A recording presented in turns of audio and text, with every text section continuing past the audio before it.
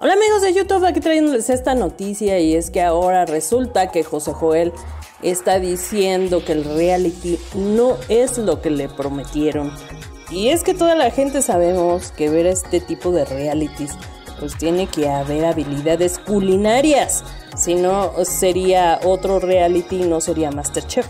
En su discurso mencionó lo siguiente, es una emoción que no conocía, me quedo con ganas de seguirlo haciendo, creo que me voy en un buen momento, todo lo aprendido me lo llevo en el corazón, las lecciones de la vida y de cocina también.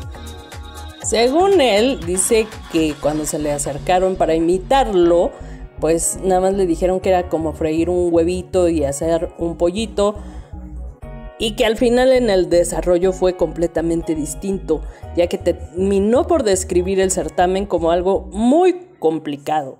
Y es que la verdad no tenía ni idea de la cocina en absolutamente nada. Ahora bien, todos sabemos que cuando habla hay un cierto resentimiento en sus palabras.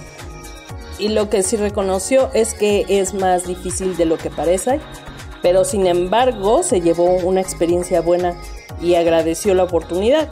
Pero una cosa sí es un hecho, muchos de los participantes no fueron llamados a este reality como pues personas culinarias eh, conocedoras, sino más bien por la polémica que tienen en su carrera y en sus vidas. Y este fue el caso de José Joel, de Laura Zapata y hasta de Patricia Navidad que pues de alguna manera buscan eh, pues que tengan la atención del público.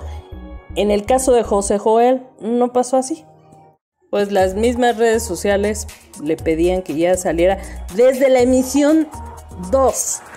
Ahora también se sabe que se estuvo quejando porque pues no le pagaron lo mismo que un participante.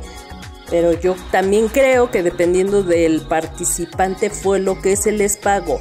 ¿Ustedes qué opinan al respecto? Comenten, compartan, denle like y no olviden suscribirse a nuestro canal. Seguiremos informando. Muchísimas gracias.